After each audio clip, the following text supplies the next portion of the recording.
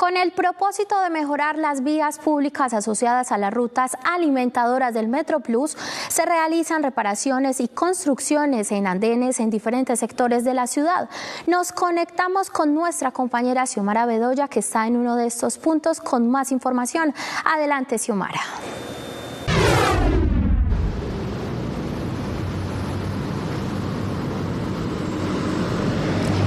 Tardes Mariana y televidentes. Nos encontramos en la avenida Guayabal donde avanza la reparación y construcción de los andenes de la vía pública que hacen parte de un proyecto que busca recuperar e intervenir estas vías que hacen parte del Metro Plus.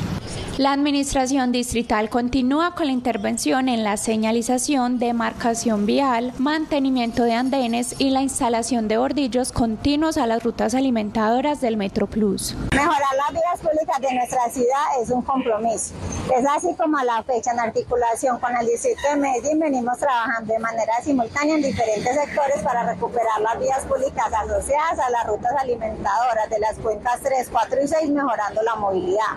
Las intervenciones se han realizado en las comunas Belén, La Candelaria, Buenos Aires, Aranjuez y próximamente estiman intervenir los andenes de la línea 1 en Manrique. En esos momentos el proyecto ha ejecutado eh, señalización horizontal en todo lo que es la línea 1 y línea 2 de los carriles exclusivos de Metro Plus. Eh, se han ejecutado también señalización en varios sectores de la ciudad. Hemos intervenido en sitios puntuales también de la Cuenca 6, en la Avenida Oriental, en el sector de las Mellizas con pavimentación flexible y rígida. En este momento el proyecto tiene un avance de aproximadamente el 75%.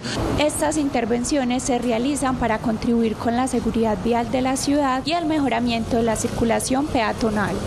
Conversamos con los peatones de esta zona y esto fue lo que nos dijeron sobre la reparación y construcción de los andenes.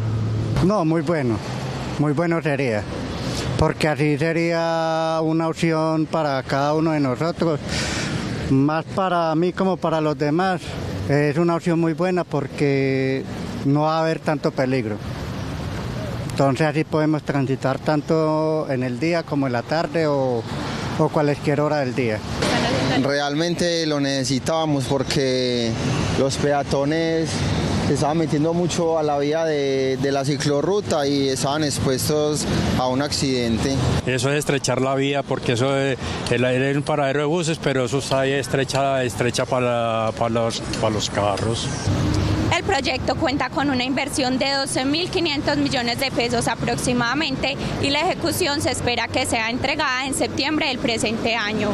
Xiomara Bedoya informa, hora 13 Noticias, cubrimiento total siempre. El IS o Colpensiones le devolvió sus cotizaciones porque no alcanzó a pensionarse. En la mayoría de los casos tiene derecho a un dinero adicional. 366-5555. 366-5555.